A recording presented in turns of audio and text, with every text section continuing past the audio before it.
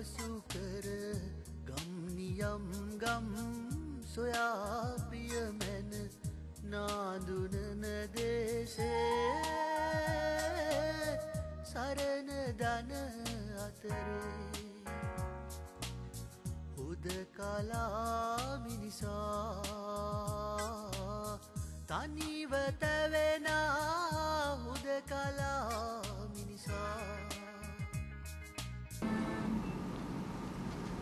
සෞදිය අවසන්්‍ය වෙඩිහඬ නැගේ තවමත් දුම්රොටු වියලි සුළඟට මුහුණ උළුටු ගඳ දැනෙයි නැහැ. ශිතිජ මායිම තුරුහිස් අතර පාවෙන දුම මැද පෙනෙයි අපැහැදිලි සලකුණු. මියගිය දහසක් මිනිසුන් වෙද ඒ දුමෙහි සැඟ. වගුරු මැද මඩදිය රත් පැහැ ගැනුනිරු හිර. සියල හා දමිල ලේකමුතුව. පසෙ කලා පස මිතුව. පලා හිටියා ඇති දැන්.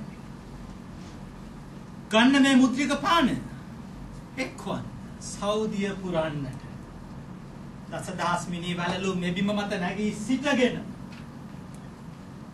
නුඹ වෙනුවෙන් වැකිරු මගේ රුධිරයයි මේ.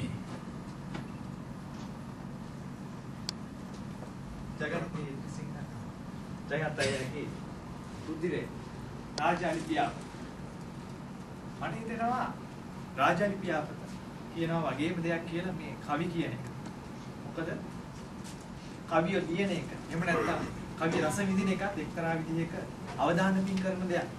අපි මේ කාලේ ඉතින් එහෙම අපි විඳිමින් තනි තනිම එක එක විඳින්න ඉන්න කාලෙක අපිට දැනුණා මේක අපි තනි තනියෙන් කරනවා වගේම තවත් පිරිස ඒ වගේම ඉන්නවා කියලා. මම හිතන්නේ හසිතයන්ට ඒකේ අත්දැකීම් ඇති. අවුරුදු ගානක් තිස්සේ පස් කරගන්නෙත් නැතුව කවි කියවන්නෙත් නැතුව කවි පොතක්වත් ගන්න නැතුව ඉන්නකොට එකපාරටම කවි නිකන් ප්‍රවාහයක් එන්න පටන් ගන්නවා ඊමේල් වලින්. ඊට පස්සේ වෙබ්සයිට්ස් Facebook එකෙත් සමහර කවි පෝස්ට් කරන්න ගන්නවා. මේක එකපාරට හිතියක්. ෂොක් එකක්. ඒ ෂොක් එක ඇතුලේ සමහර කවියෝ අපි හොල්ලලා කරකවලා සාමාන්‍යයෙන් පෝස්ට් එකක් දානකොට කියන එක තමයි මඤ්ඤම් කරලා දාන. දැන් මේ ඉන්න අය අතරේ මම අද ප්‍රස්තුතයේ හින්දා జగත්තේ වැඩි අපිට කරන්න පුළුවන්. ඒක හොල්ලලා දාන්න, මඤ්ඤම් කරලා දාන්න, කරකලා අතාරින්න. එන්න එහෙම තැනකදී තමයි ඊට පස්සේ සිද්ධ වෙන්නේ දැන් මට පුද්ගලික වෙන දෙයක් තමයි කවි නොලියා ඉඳලා කවි ලියන ගැන හිතන්නවත් නැති ඉඳලා එකපාරට කවි ලියන්නත්.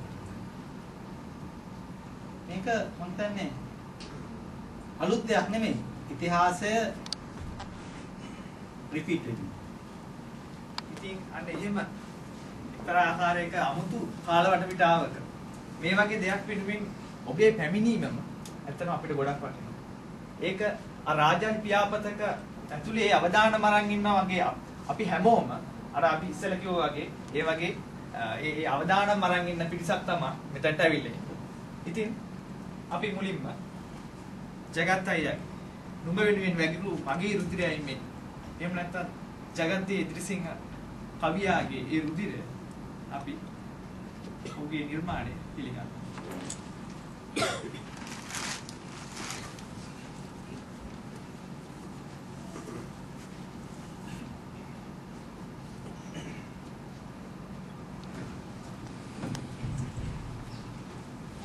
ඇත්තටම රාජාලි ව්‍යාපත මගේ දෙවනි කාව්‍ය සංග්‍රහය මම පිළිගන්නට අදහස් කරන්නේ ඩී.බී. කුරුප්පු කියන අපේ ප්‍රවීණ ලේඛකයාටයි එක වචනයක් කියන්න ඕනේ ඩී.බී. කුරුප්පු මහත්මයා ඕස්ට්‍රේලියාවේ පදිංචි වී සිටගෙන අතිවිශාල පොත් ප්‍රමාණයක් ලියලා තමන්ගේ මුළු ජීවිතයම ඒ වෙනුවෙන්ම කැප කළ ජීවත් වෙන ශ්‍රේෂ්ඨ මිනිසෙක් කියලා අපි හඳුනාගෙන ඉන්නවා.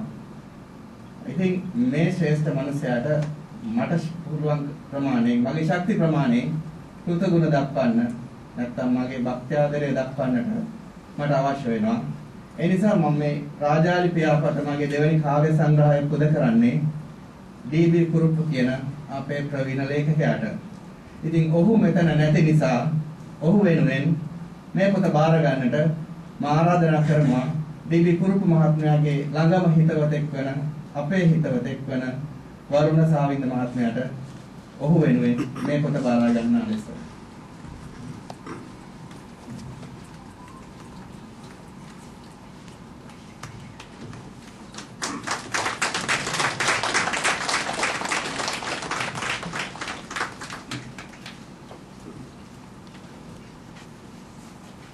ජගත් අයියගේ සමකාලීන කවියෙක් වෙන අවි සිරිවර්ධනයන්ට අපි කතා කරමු මේ වෙලාවේ ජගත් අයියේ කවි මාර්ග පිළිබඳ විමසන්න.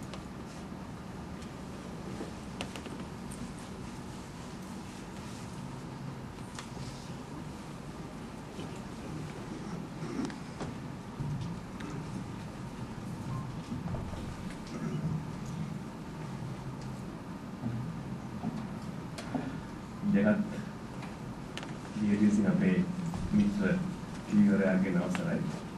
ඒ වගේම මේ අමුද අභාවට රැවිලා ඉන්න සියලුම රසිකයන් සුවිශේෂ රසිකයන්ගේ අවසරයි. මම මේ කියන්නේ අර සුවිශේෂ කියන වචනේ මම දන්නේ මේ කවිය වගේ අති සූක්ෂම කලා මාධ්‍යයකට දෙන්න බඳින තවමත් අ, මේ අය අති සුවිශේෂයි.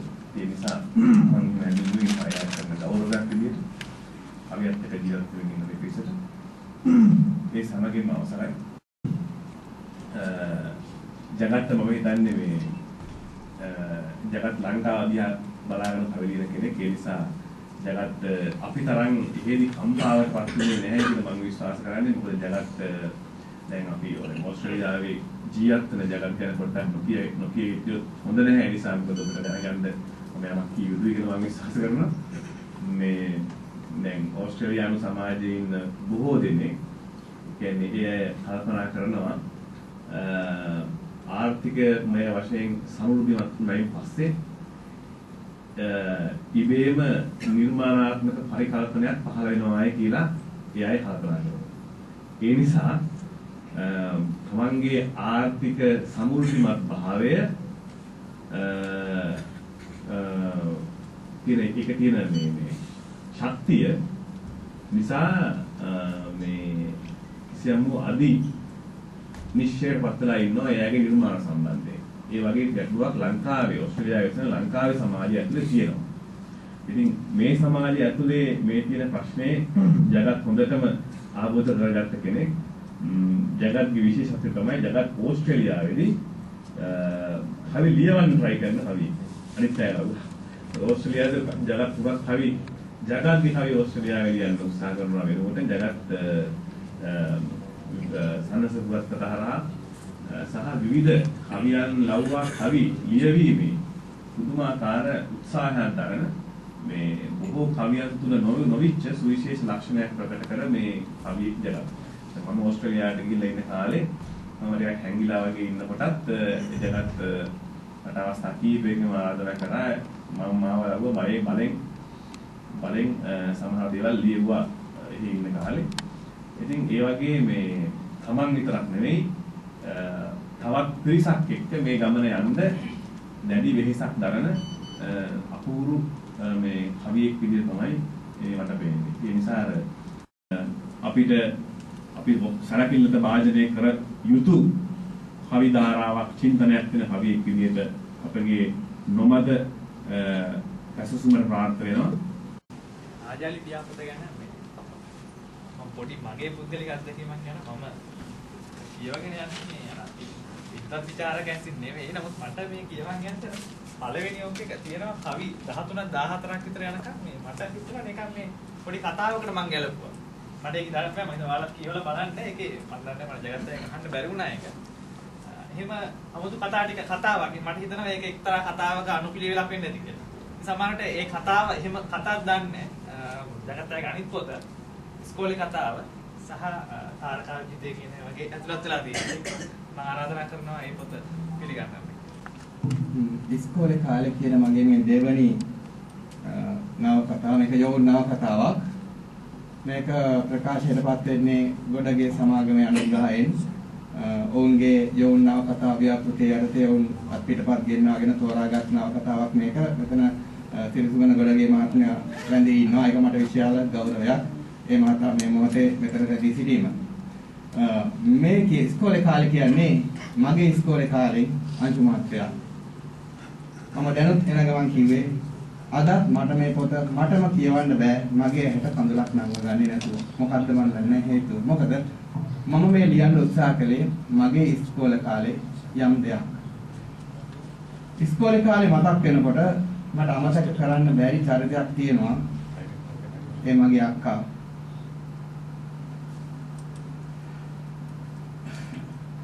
අපි ඉස්කෝලේ යන කාලේ අම්මා කෙනෙක් වගේ අපිට ඔයලා පිළලා දීලා අපිව නාවලා අපිව හැදුවේ අපේ අක්කා. ඒ නිසා මම මේ පොත මගේ අක්කට පුද කරන්න කැමතියි.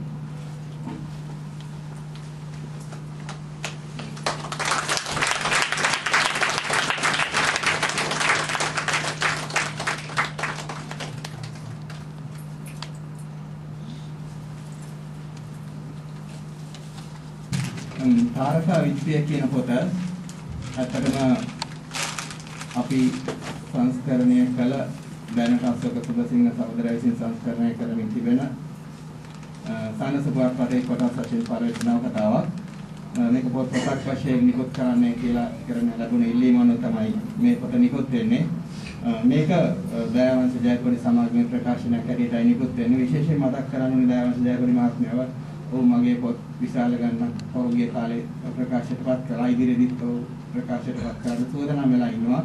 ඒ නිසා මේ මහත්මයාවත් මේ මොහොතේ ගෞරවයෙන් මතක් කරන්න කැමතියි. මේ පොත මා පුද කළ යුත්තේ කාටද කියන කාරණය කල්පනා කරගෙන යනකොට මගේ හිතට එක්තරා පුද්ගලෙක් මතුවුණා මගේ හිතට එක්තරා පුද්ගලෙක් ඇතුල් වෙනවා. අපි ගොඩාක් කාලේ මා ඉතාක් කෙස්සංග දූරවල බොහොම ළමයෙක්. අපි ඉස්කෝලේ යනකොට මගේ මල්ලි තමයි මාව බයිසිකලේ තියාගෙන පැදගෙන ගියේ. මම අයියා එවනාට බයිසිකලේ පැද්දේ මල්ලි. මම පිටිපස්සේ වාඩි වෙලා යනවා මල්ලි බයිසිකලේ පදිනවා. මොකද ඒ කාලෙත් මගේ මල්ලි බොහොම ශක්තිමත් පුද්ගලෙක් මට වඩා. මට හිතුණා මේ නව කතාව මගේ මල්ලිට පූජා කළොත් හොඳයි කියලා. මගේ මල්ලි මංගල දේ එදිරිසිංහට මම කැමති මේ පොත පූජා කරන්නට.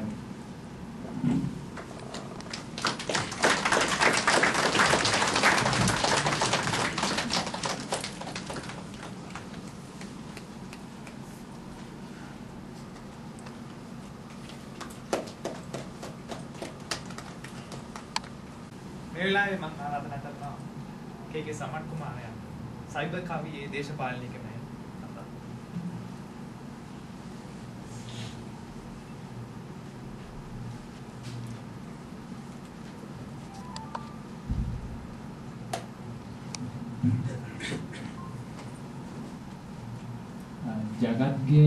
ජගත්ගේ රාජාලිපියාපත කවි පොත නිමිති කරගෙන මට සයිබර් කවිය ගැන කතා කරන්න දුන්න තමයි ආරාධනා කළේ. එතෙන්දී ඇත්තටම මම ජගත්ගේ කවි ගැන විමසන්න උත්සාහ කරන්නේ නැහැ. නමුත් ඇත්තටම අද අපි කතා කරන මේ සයිබර් කවිය සයිබර් අවකාශයේ සිද්ධ වෙන මේ සාහිත්‍යමය ප්‍රකාශන සිංහල භාෂාව තුළ මුලපිරීමේ ගෞරවය ජගත්ජී එදිරිසිංහ සහෝදරයා හිමියන්.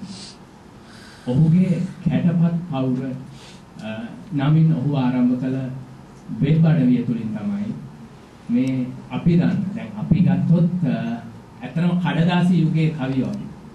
කඩදාසි යුගයේ ලේඛ මේ කඩදාසියෙන් මේ virtual paper එකට නැත්නම් virtual papyrus එකට සිංහල භාෂාව විතර කිරීම ආරම්භ වූ අ, පුරෝගාමියා තමයි ජගත් සවකයා.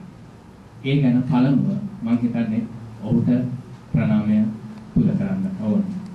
රාජාලි පියාපත් යොමා තියුණු ඇස් ලොවම දකින්න වස්. බලා සිටි යෝධ රාජාලිය. පුදුටුවේ මන්ද? උහු. පා ළඟම පිටුපසින් සිටිනා. තියුණු නිය පහුරු මැද රැඳුනි අමු මස් සහ රුහිරු ඉසිලිය නොහැකි සේද දැනේ පිලී ගඳ අඩු නැති. වාතලය හා උසු කාන්තාරයේ වැලි බිම කටු බඳුළු මැද තිබු එක මල්. දවයි දහවල සැඩහිරු ගිනි සුළඟ හති දමන. පුරා අවසන්ට තමන